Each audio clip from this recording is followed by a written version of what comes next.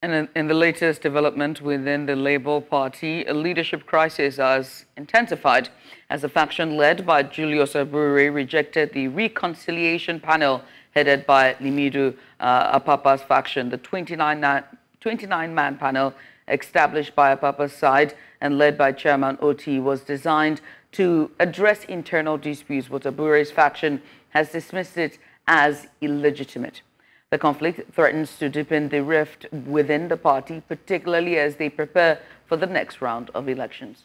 Now, the division stems from long-standing tensions over the leadership structure, mm-hmm. with both factions vying for control. Abure's camp has consistently questioned the authority of Apapa's faction, and this latest rejection of reconciliation efforts highlights the deeper mistrust between the two sides. Many within the party, the Labour Party, worry that this power struggle could weaken the party's overall standing and derail its ability to function effectively in the coming months. And so joining us today, uh, Mr. Abayomi Arabambi. She's the factional publicity secretary for the Labour Party. And also we'll be joined by Mr. Gambo Daniel Balarabe. He is the former chairman of Contact and Stakeholders Engagement Committee of the Labour Party National transition uh, gentleman. He will join us shortly. But Mr. Abayomi, thank you so much for coming and we appreciate you for doing this with us.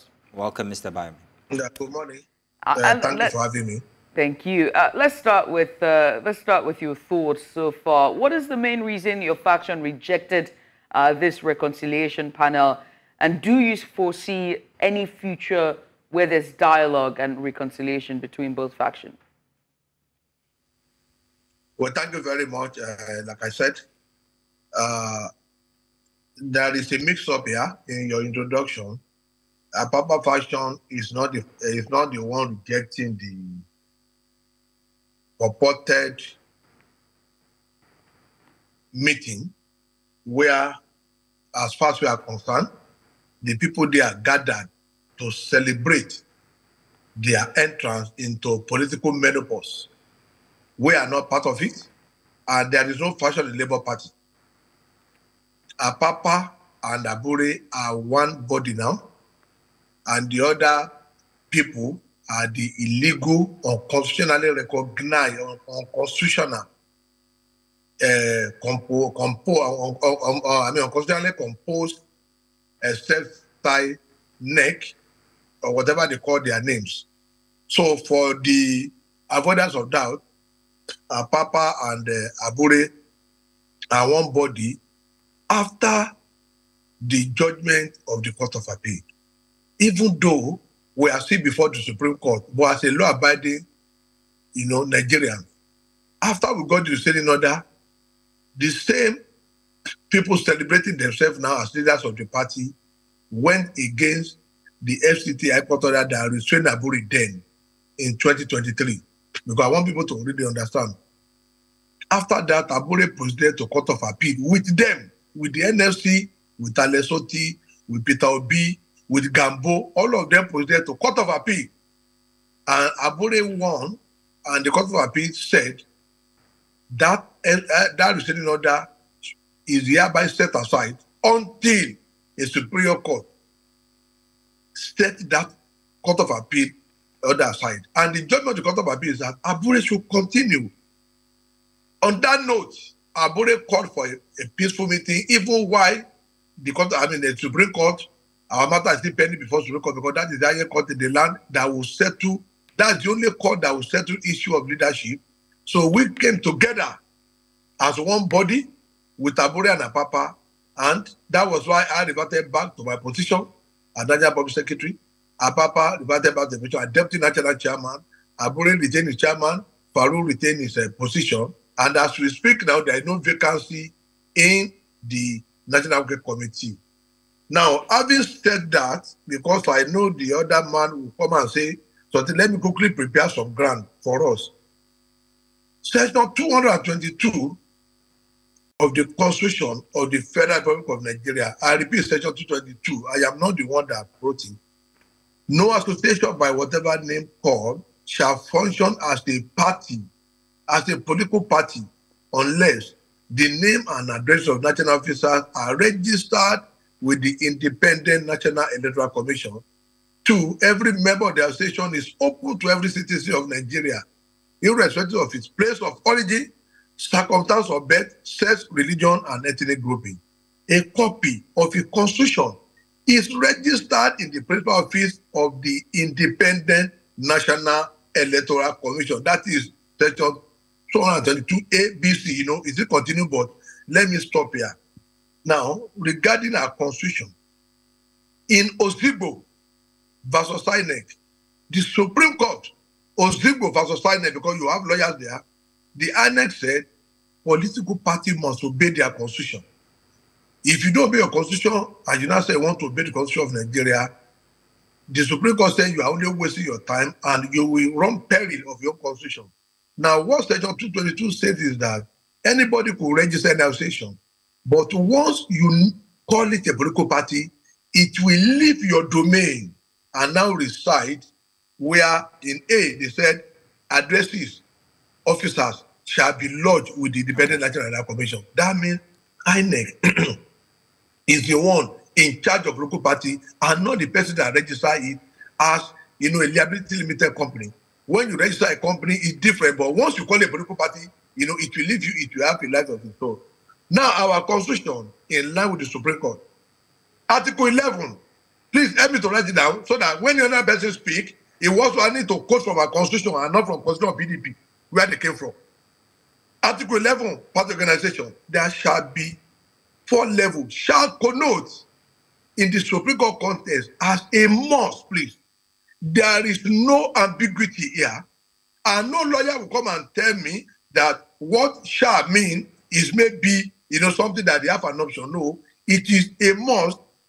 Our constitution said there shall be four level of party organization, namely what local government, state and national. Please, I am reading from the Labour Party constitution, so nobody will raise... now think. Thank you, because I wanted you to raise the, the, the, the constitution for us to take a look at. Continue, please. Okay, okay. So now, the Article 12, principal organs of the party. We, the principal number one, the most senior is National Convention, the NEC is the next, National Committee, Board of Trustee. I don't want to belabor you with the rest. Now, let us now go to the power, I, I mean, I mean, the composition of NEC now. Our National Executive Council shall consist of one national chairman, three deputy national chairmen, at least one of whom will be a female and other representative for the platform. The vice president, the president, president of the Senate, and deputy, speaker and deputy, if produced by the party, governors and deputy governor.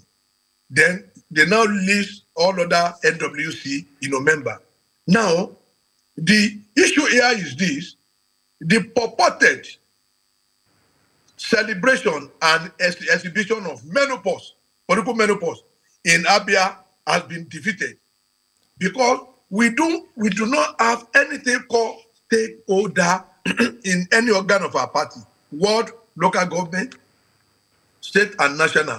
Then the principal organs of the party is National Convention, Executive Council, Working Committee, Board of Trustees, State Congress, State Executive Council, up to Ward Executive Council.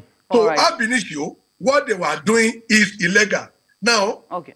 in 2009, let me remind Nigerians, Abdul Doma was the uh, president of NFC. Mimiko asked them, why can't you amend this your composition of National Executive Council to include the National Assembly member, the State Assembly member, and some other people? Their answer to him was that they will hijack the party. That was why, technically, Papa Jofo and co wrote this constitution and excluded the National Assembly. Now, they put the governor because they never knew we are going to have governor until when Mimiko came on board. But Mimiko didn't interfere like uh, Governor Lesotho is doing. You know, he will call a peaceful meeting when Barrister Danya was national chairman and A. Salam was the national secretary. Now, once you are not a member of the National Executive Council, how dare you now say, oh, I am calling for NEC and now set up one caretaker committee.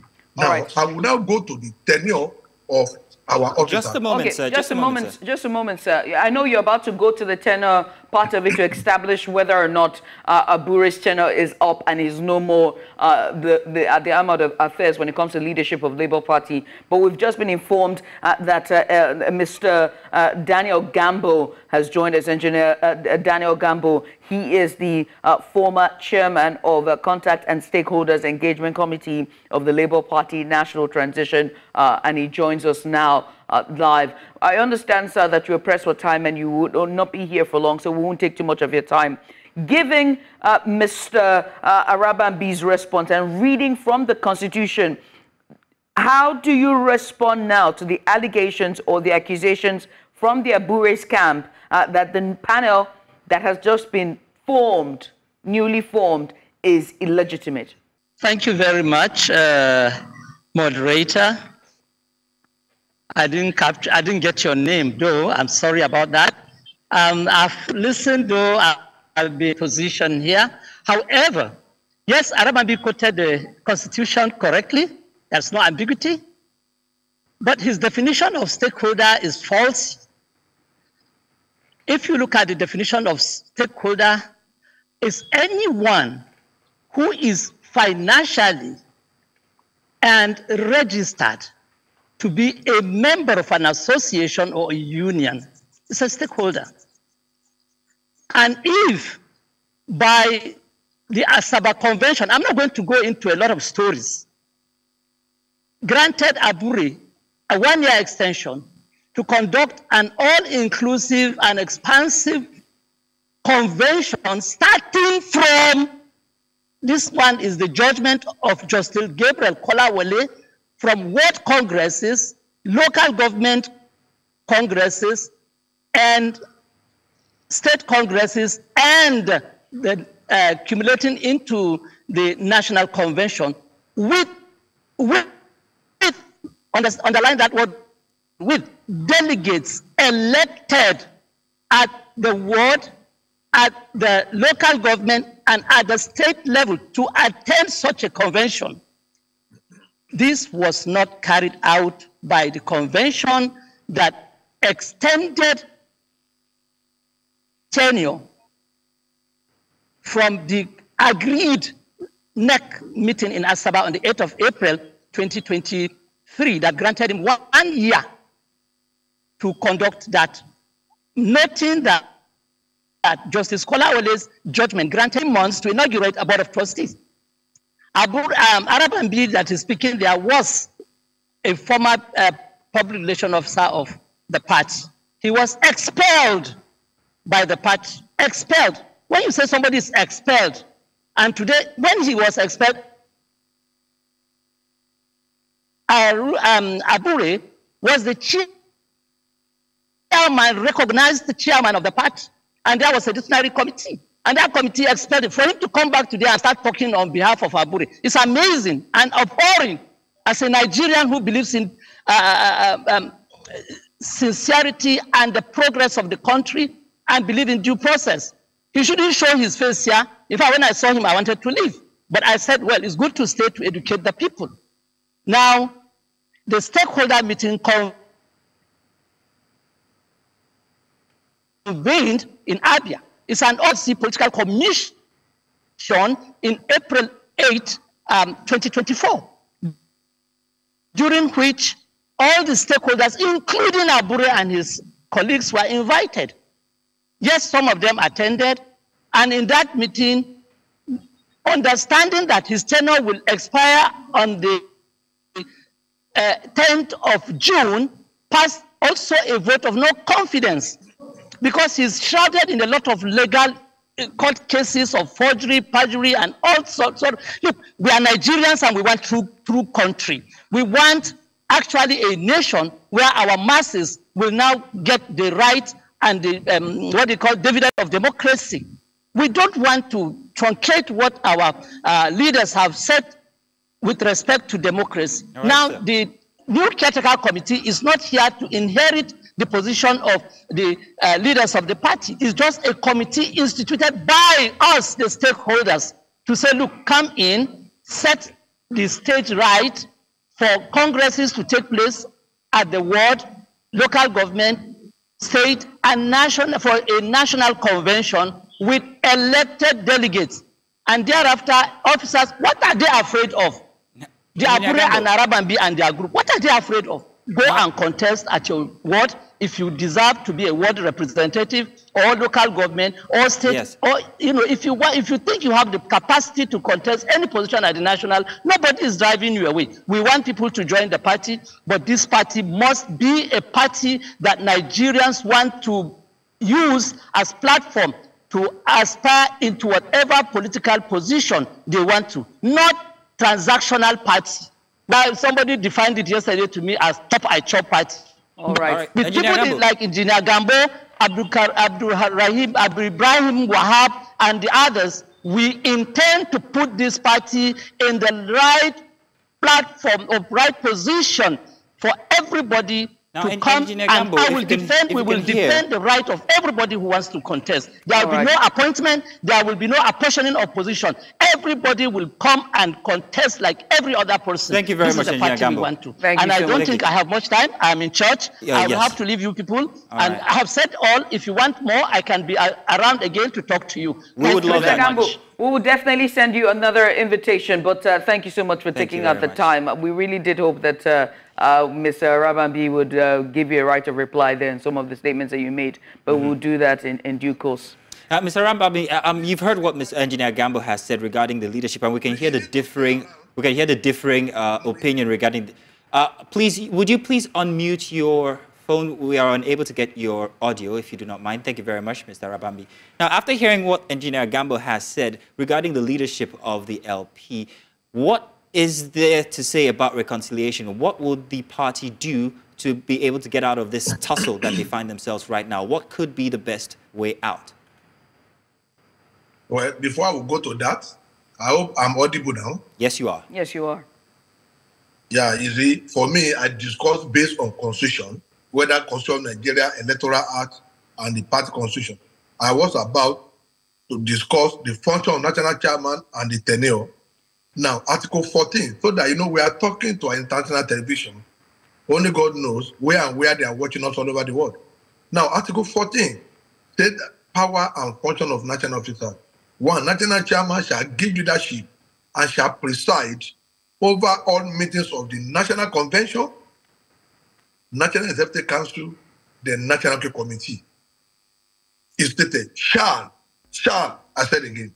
Now, the National Secretary in Article 14, I mean 14, 4b, National Secretary shall cause to be issued notices of meeting of the National Convention, National Executive Council, and National Committee of the party in consultation with and approval of the national chairman. and finally, from our, our party constitution, Article 15 talk about tenure of national, I mean, of office. All national officers of the party shall hold office for a period of four years and shall be el- eligible for re-election. But Article 15, 5 state that no member shall serve in the same office for more than eight years, except a person who first came to the office via vacancy. Via vacancy.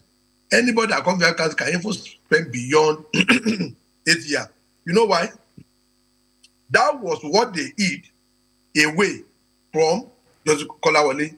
Now in 2018, about the conve- I mean about the purported court consent judgment they were talking about.